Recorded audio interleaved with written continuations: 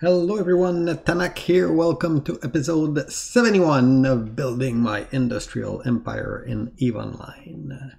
So let's start with the progress report. Uh, as you can see, my net worth plus that of the corporation is now uh, 221 billion ISK. If you go at the tracker here, you can see that there is a drop this week. We went back to where we were about two weeks ago. Uh, I'll explain in a minute. Uh, the value, if you go like uh, like by character, Tanak gained a little bit, 1.3 bill. Uh, Erica gained a little bit too. Uh, I got two two person that uh, that actually uh, activated uh, an omega on one of my uh, links. So i did uh, get a few uh, like i'm getting four uh, cerebral accelerator every time that happened. So that's some free money that's going on erica because i'm selling those straight away. I'm probably going to buy skill injector for tanak with that. Toy company dropped a little bit. So all in all we're about uh, 5 billion less than last week.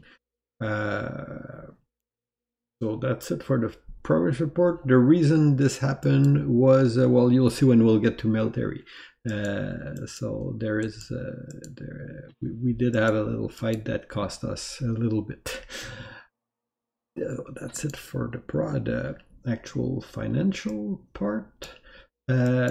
Next part hr thing moved a little bit uh, this week. Uh, as you can see in uh, alliance we are now at uh, 461 member. Uh, so 461 member uh, as you see also we're alliance number 69 so i feel that we've won eve at this point uh, I'm done. uh, no, so uh, it's a little less member than last week. Uh, what happened if uh, you look at our active corp? Uh, we steel pigs with guns left the alliance on a good term with us. it wasn't a fight or anything, but uh, after a discussion with their CEO, they were looking for an area of space that wasn't as busy at, as what we have now. So they were looking for, uh, I think, a calmer null experience than what we are providing.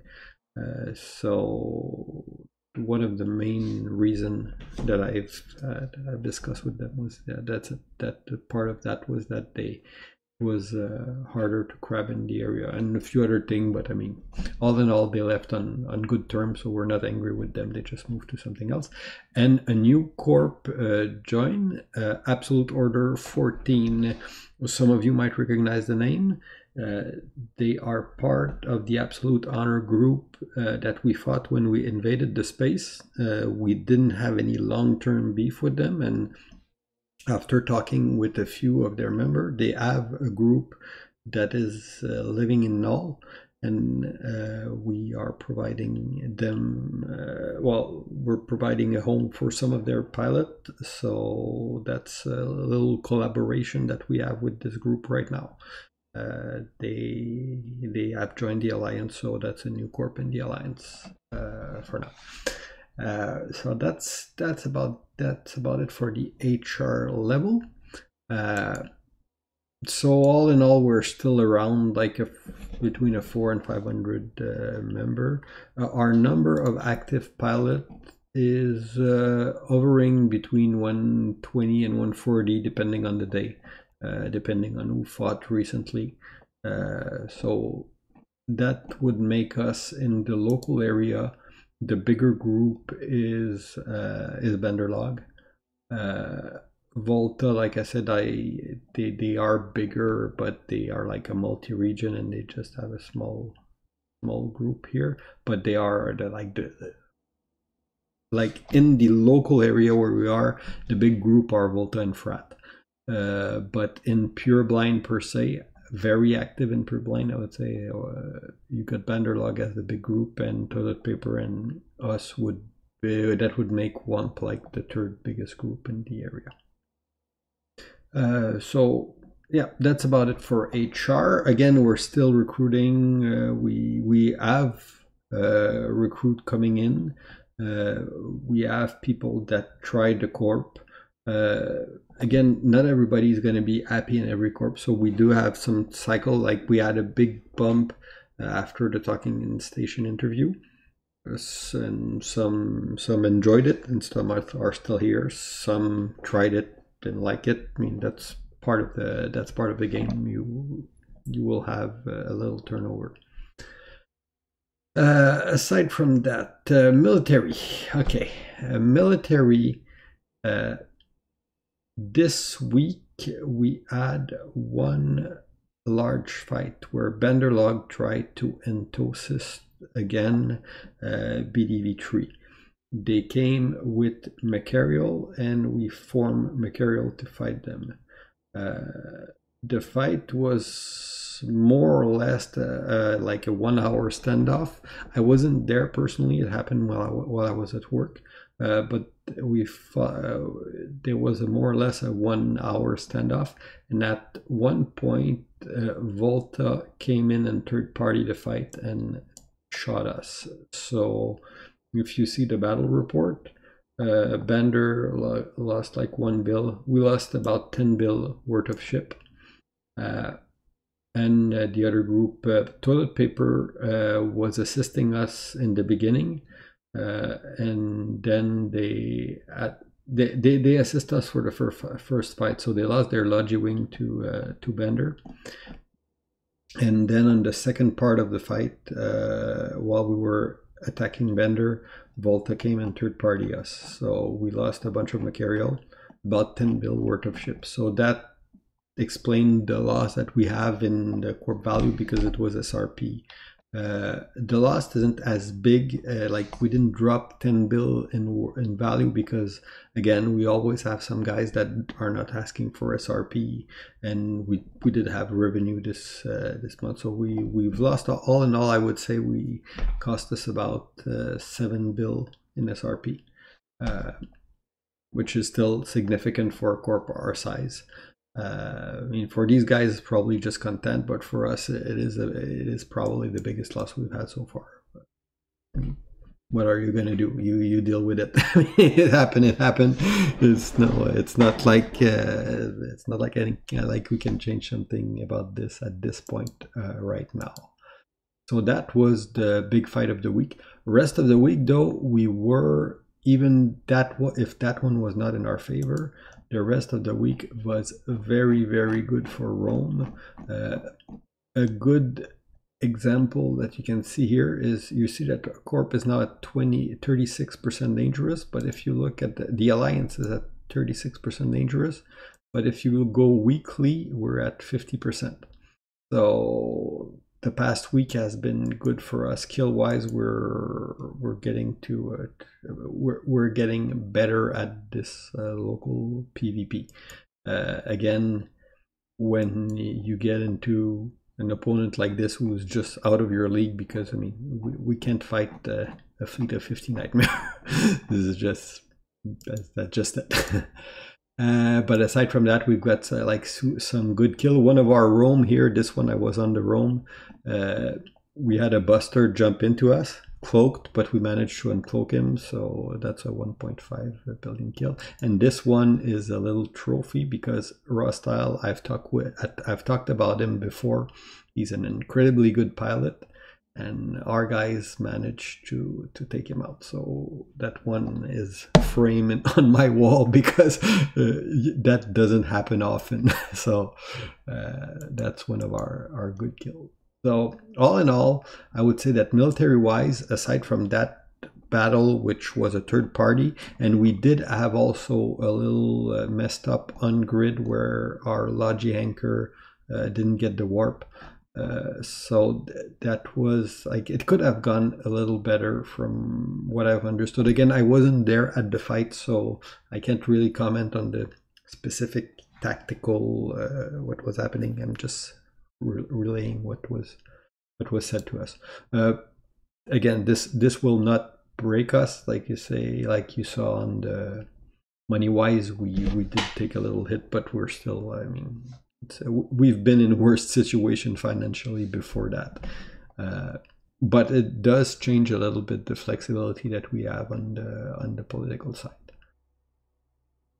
So uh, that's pretty much it for the military wise.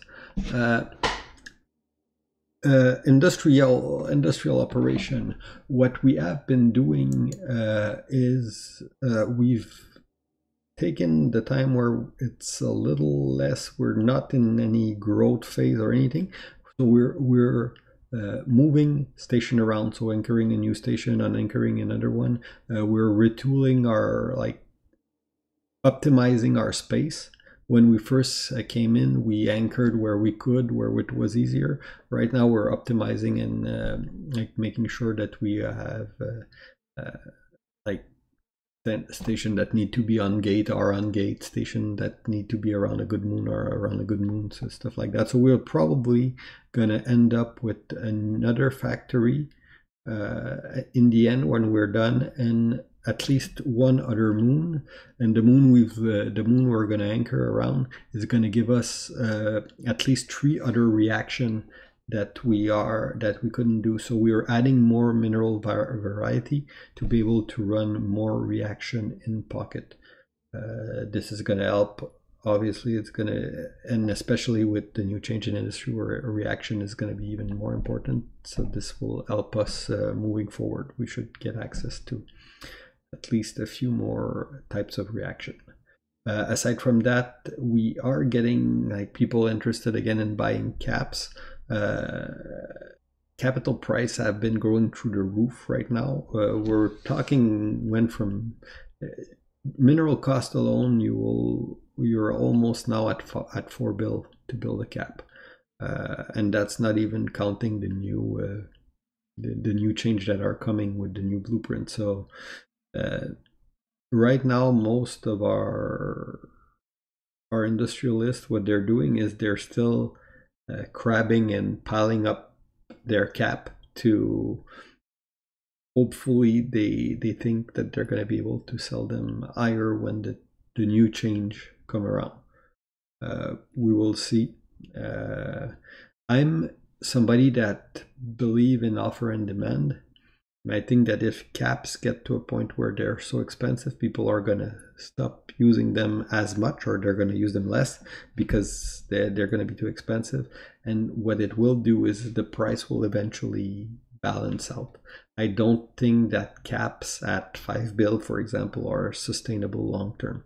Uh, there, there will be downward pressure because people are, I mean, if you're an FC, you're not going to throw cap away at at that price or you're going to throw less or you're going to be more careful you're just going to use them when you're really really sure you're not going to lose them or so i think it's all offer and demand but in the end prices of everything are driven by the amount of money in circulation that kind of eventually fix the price of what things go for. Uh, I don't know if if if I am explaining it properly, but so you can look at the fundamental, you can look at the mineral price and everything, but in the end, you need somebody to be to be buying your end product, or it's not worth anything. And if it's getting too expensive, uh, people are going to look at cheaper option. There's a lot of talk internally, like okay, uh, like for, for a good example is we we we're we're starting to introduce material, but material price are going up. So are we going to keep Machariel as a doctrine fleet if Machariel costs two bill each? Probably not. We're probably going to look at something that's uh, like that that's within our budget, I would say. So these calculation, everybody, every alliance leader is making those calculation, or every alliance military leader should be making, or is, is making these types of calculation, I assume. Uh, and the these decision will will drive the price up or down depending. So anyway, we'll we'll see. So that was pretty much it for the industry. So big retooling of our, our infrastructure, adding adding at least a, a fourth moon. So we we we already mining three moon. So we we plan on adding a fourth one. Um, political landscape uh, or pure blind politic, if I would say.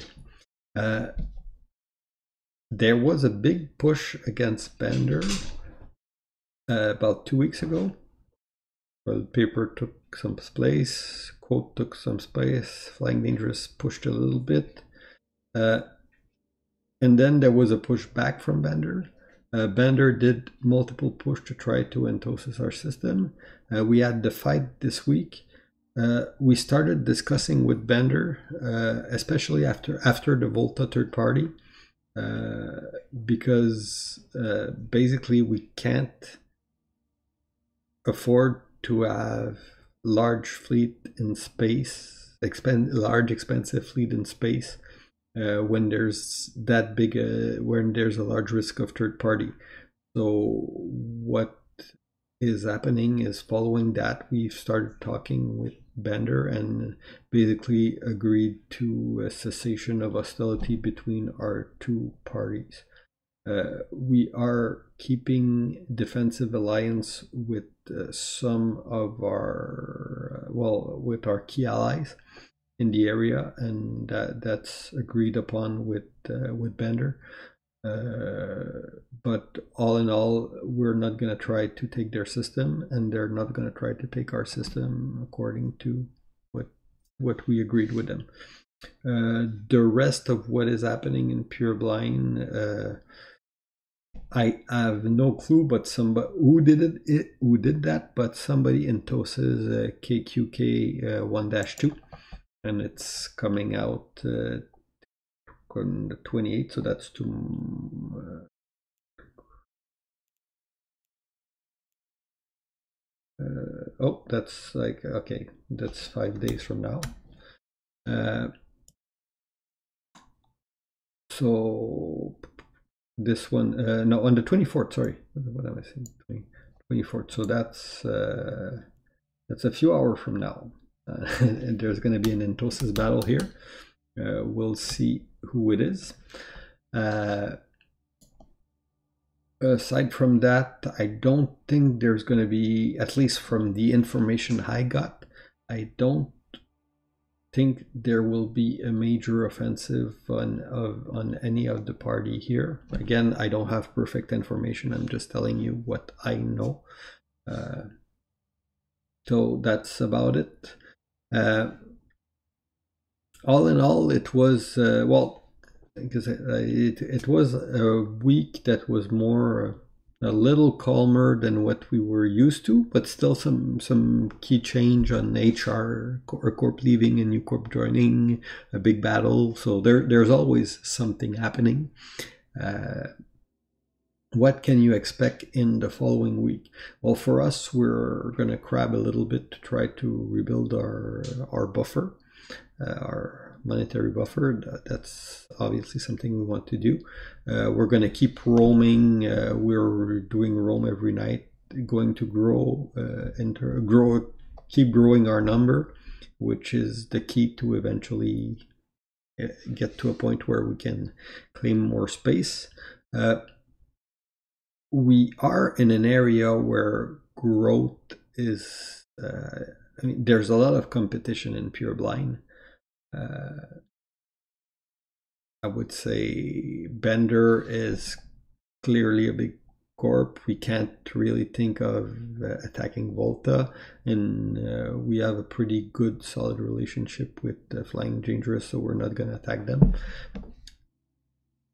So we are at a point where we are discussing options, uh, not at a point where we're, we clearly want to make a move, but we we are discussing possibility of uh, well, like thinking uh, about the future and where where do we want to go, what can we do, and stuff like that. So th these are discussions that we're having, but no nothing uh, nothing hard on the table like no no okay we're leaving pure blind or it's not it's not like that at all it's just just for now it's just uh, armchairing and uh, throwing ideas around just to see like because because the thing is we want we we we do want to keep growing as an alliance. Uh, and if you look at the number of active pilot per system we probably have the highest density in all, all of Pure Blind of number of active pilot per system. Uh, so uh, it is starting to see, like you see in Q5 right now, got like 22, uh, 22 pilot, 21 of which are, are Alliance. Uh, so that, that's pretty much it. What you will see in next week, like I said, hopefully we're, we're going to be able to grab a little bit. oh yeah, one thing I need to announce is uh, next Friday. We're going to do our Drake fleet. Uh, when we arrive in the in, when we arrive in pure, pure blind initially, uh, the RFC uh, challenged us to keep the ADM level at five in all of our system. They've they you don't see them here, but today uh, the, the ADM, we managed to push those three systems by mining to five. So we managed to get all our ADM above five in the in the system we hold, and the reward for that was RFC eight uh, eight drakes with a passion. Uh, but he challenged us to to raise the ADM, and if we succeeded, we would get a Drake fleet. So everybody will be able to bring their Drake, and we're going to have a Drake fleet, fleet uh, next Friday. So that that's that's one of our big highlight. But anyway, I hope you guys enjoy. I've been rambling enough for today, and uh, if you got any question, any comments, just write it below. If you like, click like. If you like the show, subscribe. And uh, that's it. See you guys next week. Bye bye.